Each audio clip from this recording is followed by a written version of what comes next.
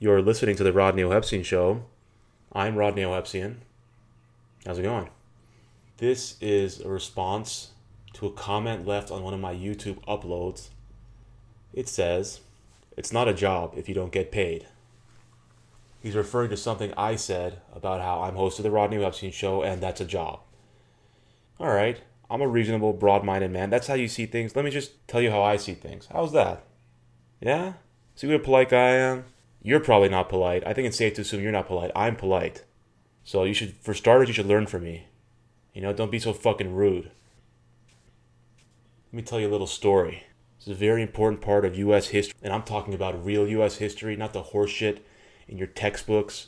Like how the original Bill of Rights included one about cruel and unusual punishment. That's ridiculous. That's fucking bullshit. The liberals put that in later. The original Bill of Rights didn't mention anything about that. That amendment was about ban on pornography and marijuana. Yeah, that was the original amendment. Yeah, there was nothing in there about cruel and unusual punishment. Actually, there was something about cruel and unusual punishment, but it promoted it. The founding fathers were for cruel and unusual punishment, if used appropriately. But, anyways, I was going to tell you a little story. Remember that?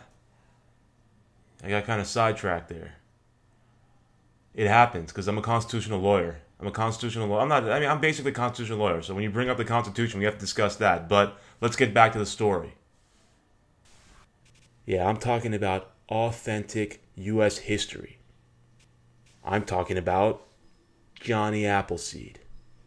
He was a great American. He went around the country planting apple seeds. He didn't just plant apple seeds, he pulled out all those communist fruit trees the liberals put there, and the marijuana they were growing too. He was actually traveling with Paul Bunyan. Paul Bunyan ripped out those fucking trees, he tossed them aside, and he disposed of the marijuana without burning it. He disposed of it the proper way. Johnny Appleseed grew a shitload of apple trees, like a great American. The nation ate those apples, and that led to the Industrial Revolution. Yeah, he lived up to his last name. His father wasn't even in the Appleseed business. He was a fucking porn director. You know, but Johnny Appleseed said, you know what? You're a fucking disgrace to the country, and you're violating the anti marijuana, anti pornography amendment. Not cruel and unusual punishment amendment. Pornography and marijuana. Don't listen to the fucking liberals. And anytime I see someone eating an apple or not smoking marijuana, I know damn well that Johnny Appleseed had a job, even though he didn't make a fucking cent.